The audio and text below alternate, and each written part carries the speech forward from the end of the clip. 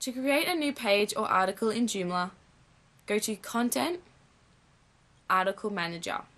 From within Article Manager, on the top right hand corner, click New.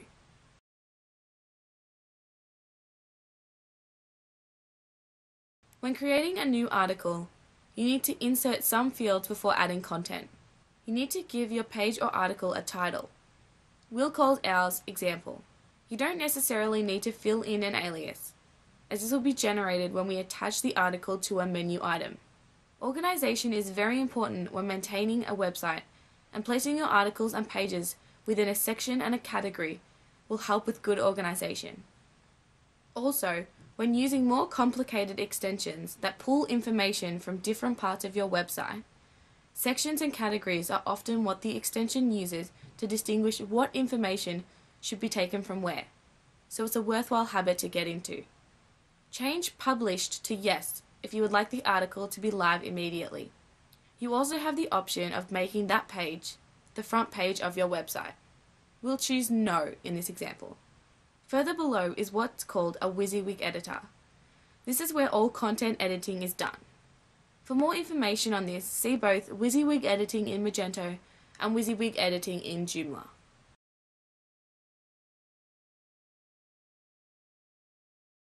Another section that needs to be completed when creating an article in Joomla is the parameters. You can change these parameters to change things like publishing an article's author, for example. The meta information section is very important for search engine optimization, as it is where you write your meta description and meta keywords. See more videos in the series on search engine optimization for help with what to write here.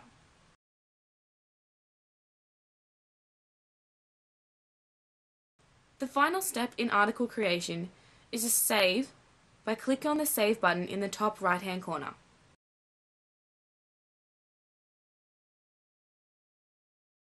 The next step is to link your article to a menu item. This is how visitors of your website will find your article. You do this by going to menus and clicking on the menu section you'd like to add your article to. We'll choose Example Pages. Within the menu item manager, click New in the top right hand corner.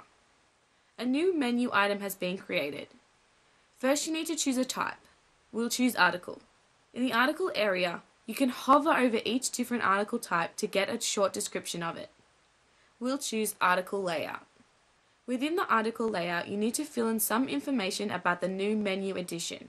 The first is title. This should be similar to what the article title is. This is where you fill in the alias. The alias refers to what comes after your website's address in the address bar and is used for search engine optimization. Now you choose which menu you want the article to appear in. We want ours in the Example Pages menu. Published should be set to yes if you want the article to appear on your website straight away. The phrase on click open in simply refers to what you want to happen when someone clicks on the article's menu item. Do you want it to open in the same browser window, in a new browser window, or in a new browser window as a pop up style? with no browser navigation.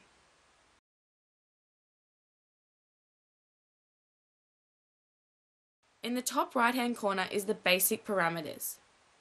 Here we add the article we just created by clicking select and a list of our articles pops up. We want to choose example as that's what we called our article. Click the article to select it. Our article has now been added. There is also component parameters and system parameters you can alter for differing results.